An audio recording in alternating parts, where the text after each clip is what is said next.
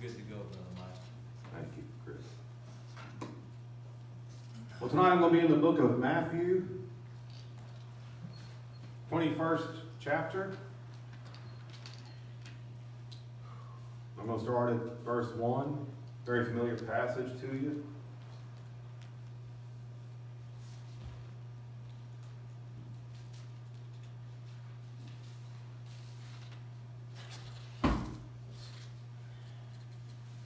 Matthew, excuse me, Matthew chapter 21, starting with verse 1. And when they drew nigh unto Jerusalem, and were come to Bethphage, unto the Mount of Olives, then sent Jesus two disciples, saying unto them, Go unto the village over against you, and straightway you shall find an ass tied, and a colt with her. Loose them, and bring them unto me. And if any man say aught unto you, you shall say, The Lord has need of them. And straightway he will send them. All this was done that it might be fulfilled which was spoken by the prophet, saying, Tell ye the daughter of Zion, Behold, your king comes upon you, meek and sitting upon an ass, and a colt the foal of an ass. And the disciples went and did as Jesus commanded them, and brought the ass and the colt, and put on them their clothes, and they set him thereon. A very great multitude spread their garments in the way. Others cut down branches from the trees and strawed them in the way. And the multitudes that went before and that followed cried, saying, Hosanna to the Son of David! Blessed is he who comes in the name of the Lord! Hosanna in the highest! And when he was coming to Jerusalem, all the city was moved, saying, Who is this? And the multitude said, This is Jesus the prophet of Nazareth of Galilee.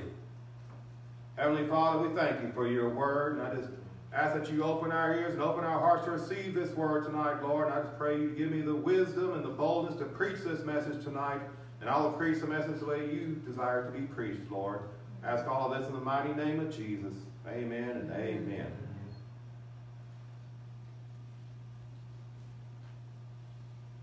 This is known as the triumphal entry. Jesus coming into Jerusalem. I'm sure you've read this story many times, heard it many times, and being the time of season it is, the time of Passover and Resurrection Sunday being next Sunday, I felt it was good first to revisit. You find this in all four, all four of the Gospels. Pretty much the same story in all four Gospels, just slight differences. I believe in Luke, it doesn't actually say Hosanna, but it does say blessed. For all the people giving, giving praise to him, giving homage to him. In, uh, in Luke, they say, Blessed be the King that cometh in the name of the Lord, peace in heaven and glory in the highest. And also in Luke it adds that you know, the Pharisees were among the multitude. They're telling Jesus to rebuke his disciples. And he answers them, I tell you, if they hold their peace, the very stones would cry out. You know, God will be praised. Amen. If not by humans, he can make the stones cry out. That's There's right. nothing he can't do. You know, he, John the Baptist told the Pharisees, you know, don't, you know, basically don't brag to me that you're sons of Abraham. God can make sons of Abraham out of these very stones. Mm-hmm. But he wasn't, he wasn't impressed by that. But here they are, the multitude, you know, giving homage to Christ, laying their garments before him. When they, when they, when they laid their garments at his feet, they're, they're showing subjection. They were, this, is, this is what they did before a king. And this was the King of Kings who was coming in to Jerusalem. This is one of the few times that you see Jesus acting. He even told, told the, the people that he was that he was meek and humble of heart. You know, as when he told them, when he told them, You'll come to me. I am meek and, and humble of heart. I'll give you rest. Because my yoke is easy, my burden is light. So he never, he never puffed himself up, never built himself up. He was never prideful, always humble. But to fulfill prophecy, he rides in on a donkey. Yeah.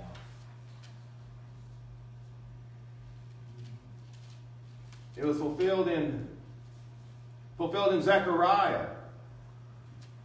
You read in Zechariah chapter 9, verse 9, it says, Rejoice greatly, O daughter of Zion. Shout, O daughter of Jerusalem. Behold, thy king cometh unto thee. He is just and having salvation, lowly and riding upon an ass and upon a colt, the foal of an ass. Mm-hmm. Now, kings normally would come in on a horse. Right. Yes. Horse was a symbol of majesty, also a symbol of war. That wasn't Jesus' intent. His intent wasn't to come in and start war. He wasn't here as a he wasn't he didn't come as, as vengeful, not at that point anyway. The donkey was was a lowly animal. It was it was you know took its time, easily approached. Now if he came in on a horse, the people would have to kind of stand back as the horse pranced around. But the donkey they could get closer as they laid their garments at his feet. As I said, this was around the time of Passover. Passover is on, was on the 14th of the month. So everybody's getting ready for that. And it's been accounted that when Jesus came into Jerusalem, it was the 10th of the month.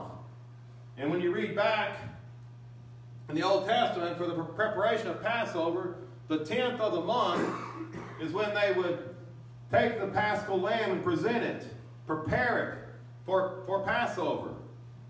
So here was the Lamb of God, our Passover, right. presenting himself to the people before the Passover. Hallelujah. This was his public showing. It was, it was a prelude to, the pas- to his passion, as it's sometimes referred to. The crucifixion is sometimes referred to as the passion of Christ. I believe that's believe that's what the, I believe there was a movie called that a few years back, The Passion of Jesus Christ.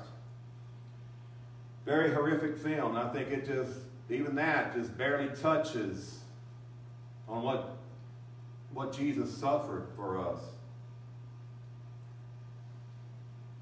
It's interesting to note that these shouting Hosanna and blessed be him who comes in the name of the Lord some of these very same people, a few days later, they're going to go from Hosanna to crucify him. Let him be crucified. What a, what a difference a few days makes. You read about that in Matthew, you know, just a few days later, he's brought before Pilate, you know, and they say, well, what, what will I do with this Jesus? And they say, let him be crucified. You know, well, what has he done? And they just kept shouting, let him be crucified. And as you read this in Matthew 27, as we know, Pilate took some water, washed his hands, said, I'm innocent of the blood of this, of this person. You see to it. And then they answered, His blood be on us and on our children. Wow. They go from Hosanna to His blood be on us and our children. You know, you ever, you ever say something without really thinking about it first? You know, then later on you think, maybe, maybe I shouldn't have said that. Maybe that wasn't the best thing to say. I think this is the situation here. They weren't really thinking about what they said.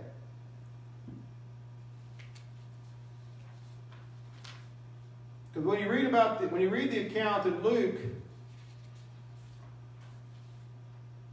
Luke 19, now, as he's coming in,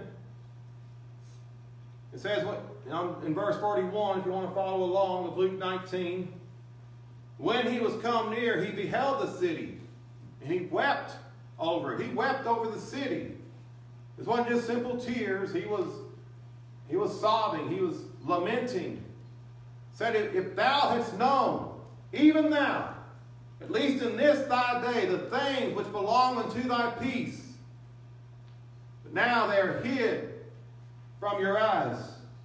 For the day shall come upon thee that thine enemy shall cast a trench about thee, and compass thee round, and keep thee in on every side, and shall lay thee even with the ground, and thy children within thee.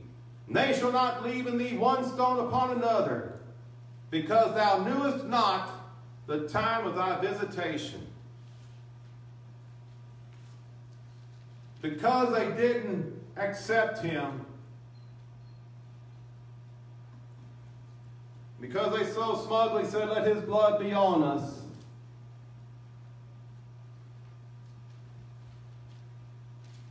They were chastised. You read about it in history. Around 70 AD, this, this came to pass.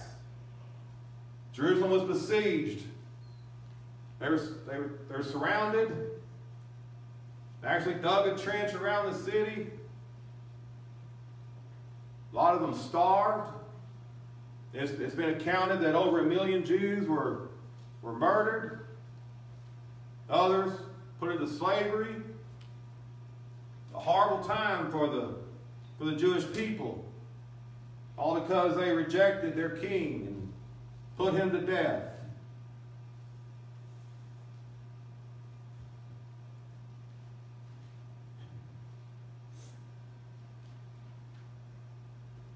How, how much different things could have been if the people had accepted him, if the religious leaders had accepted him. How much different things could have been. But all of this, as we know, had to happen to fulfill prophecy. It was our only chance. The perfect sacrifice had to come. Because if he hadn't come, if he hadn't laid down his life, we'd still be sacrificing animals. We would never make heaven. Amen. We'd be down, we'd be down in Hades on the good side. Because you read about in the Old Testament, there was, there was hell and there was paradise. But still, when they were down in paradise, they couldn't see the light of heaven. They could they still weren't they still weren't seeing the full glory of God. They were still bound there by Satan. You know, and Satan desiring to have total control of them one day. But thank the Lord. Thank God he sent his son to die for us. And he went, he went down and he, he rescued those souls that were in paradise and brought them up to heaven. All that had to happen.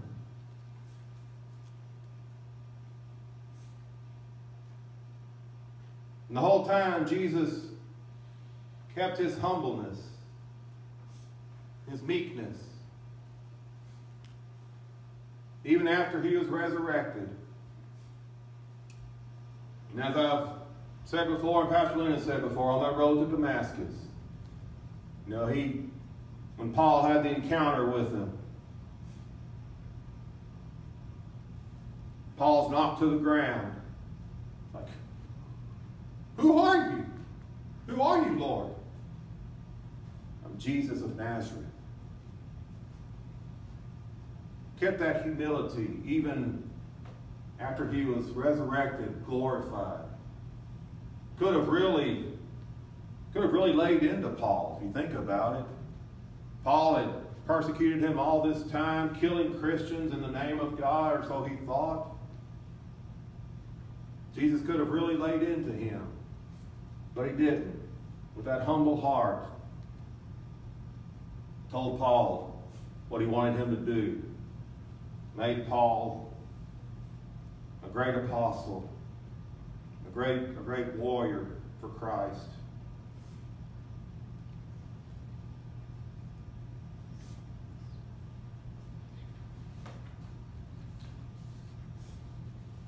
But what a difference a few days made. Here are the people that heard Jesus, seen Jesus, seen all the marvelous things that he did, seen miracle upon miracle after miracle. blind men seeing, deaf men hearing, lame people walking, people with leprosy with new skin, even dead people raised up.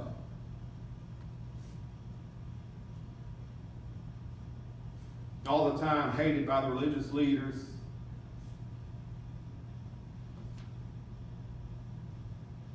But the people followed him.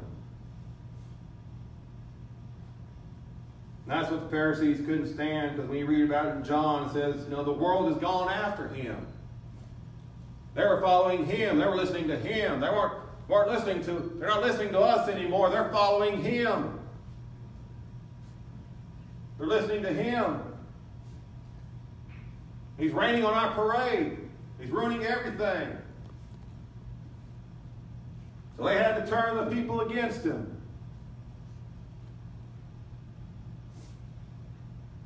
And how fickle these Jews were. How easily swayed they were.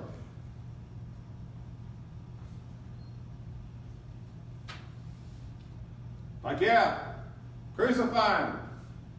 He blasphemed. blasphemy? Yeah, crucify him. We'll take Barabbas. We don't want Jesus. We want, we want Barabbas. We don't, we don't care what Barabbas has done. We'll take him. Release him to us.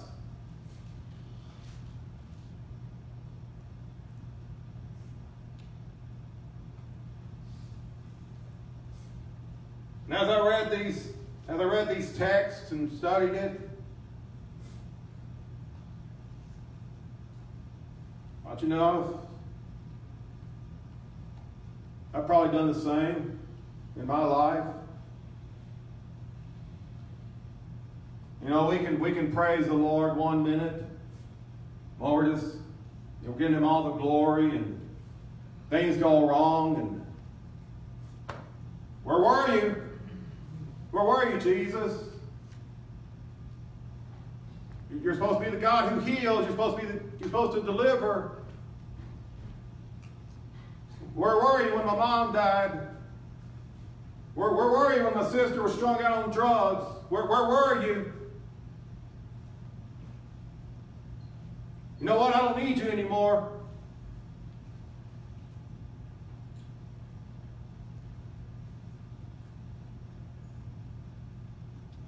As I said, what a difference a day can make.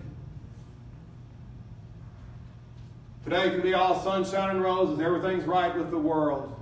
I love you, Lord. I lift my voice to worship you.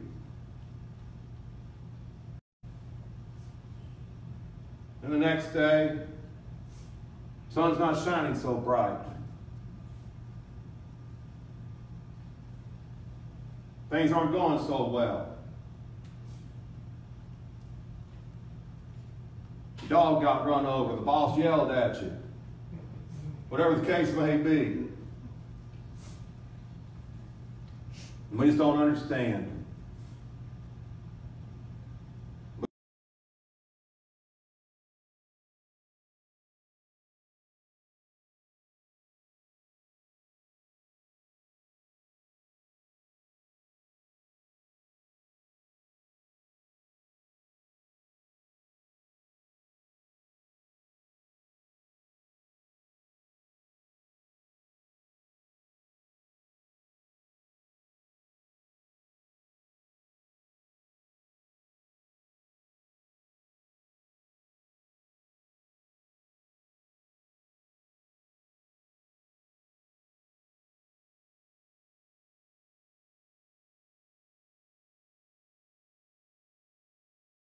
Crying out.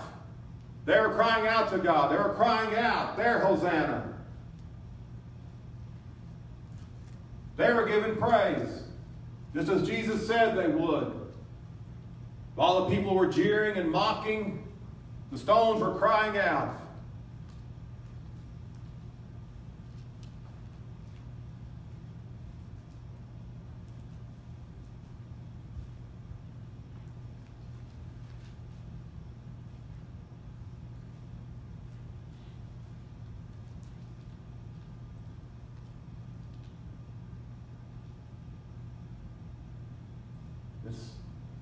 So easy sometimes, isn't it, to go from Hosanna to crucify him?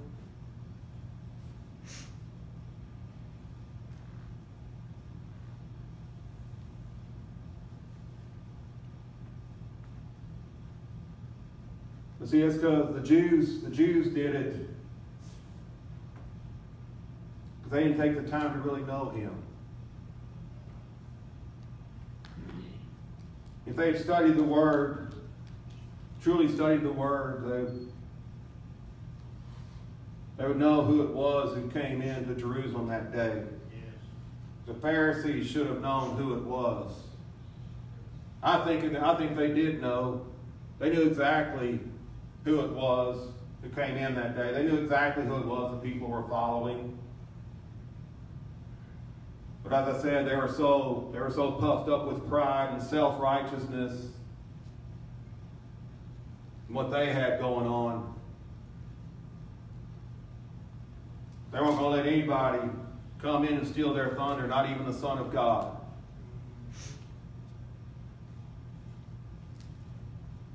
So if that meant he had to die, so be it.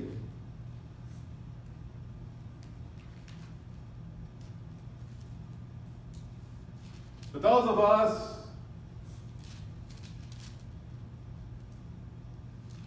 here tonight who've been born again, who study the Word, who, who know the Lord, who have a relationship with Him, who walk with Him, we know that every day is not going to be sunshine, lollipops, and rainbows.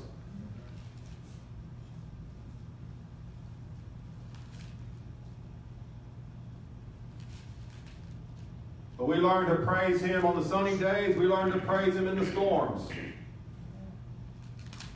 Because it's in those storms, that's when we need Him the most, isn't it? Yes.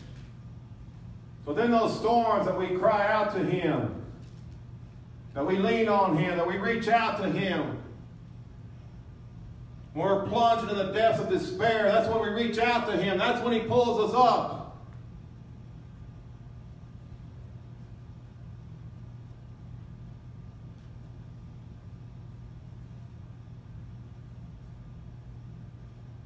When we lean on Jesus, those dark days aren't so dark. Yes, there's suffering. Yes, there's pain in our lives. But when we lean on Jesus, we can still say, Hosanna. Yeah. Blessed are you, Lord. Yes. Glory to you, Lord. Amen. We love, love you, Lord. Even though I'm going through this rough time, even though I'm going through this storm, I'm going through, through this addiction, I'm go, whatever it is I'm going through, I'm going to trust in you. Chris, is that you've had to put your trust in him for, what, 30 years? Plus. 30 years plus. He's been near a cripple because of neck and back pain, the broken neck, back problems. This morning he could barely, barely bend over to pick up his bottle of water. I'm sure there's mornings he, he would just rather stay in bed or just rather stay home because it hurts too much to get in the car to come here. But he comes. Why? Because he loves the Lord. Yeah. Even though he's in pain, even though he's suffering, yeah. he knows that he is still Lord. Right. He still gets up here and he says, Hosanna! Glory to you, Lord. Yeah. You deserve all the praise. You deserve all my honor and praise, Lord. And if Chris, if Chris can do it, I can do it. You can do it. Yes. Amen. We can all come here in the morning and in the evening. By the way, Chris, I just thank you. Because you're, you're an inspiration. You know, because when I think I'm having a bad day, I think about what you're going through. It's like, you know, he's here. He's not complaining. He's worshiping. I can do it too.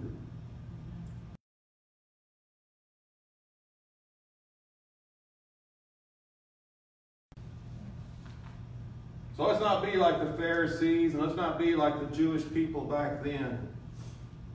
Let's not be fickle in our faith. There's too many, there's too many people out there like that.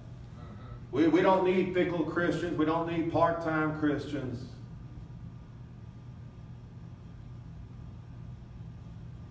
You know, as they, you know, they, it says they laid down their garments. When we, when we accept Christ as our Savior, as our Lord and Savior, we lay everything in front of Him. We give Him, we give Him our all. Yes.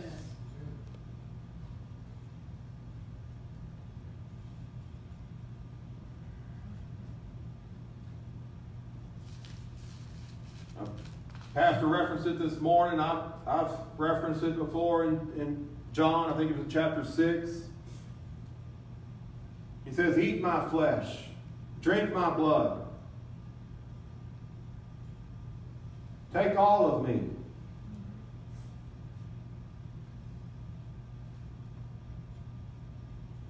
And I'll raise you up on the last day. When we follow Him wholly, when we don't, you know, we don't, don't just take, don't just take the miracle Jesus. Right. Don't, don't try to make him into some prosperity, everything's all right, Jesus. Right. That's for other churches to do. We don't, we don't preach another Jesus. We preach the Jesus that exists right here from Genesis.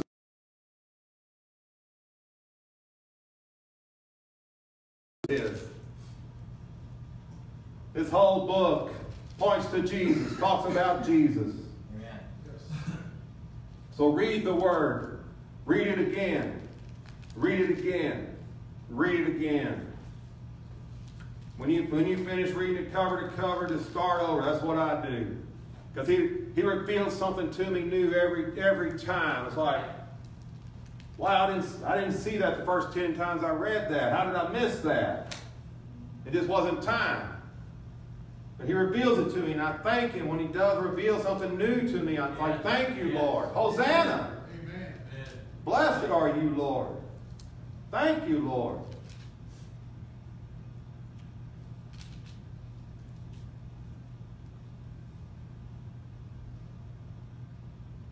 Because of him, I can do all things.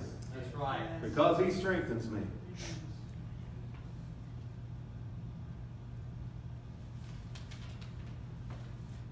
So if we rely on, we lean on him and do things in his strength,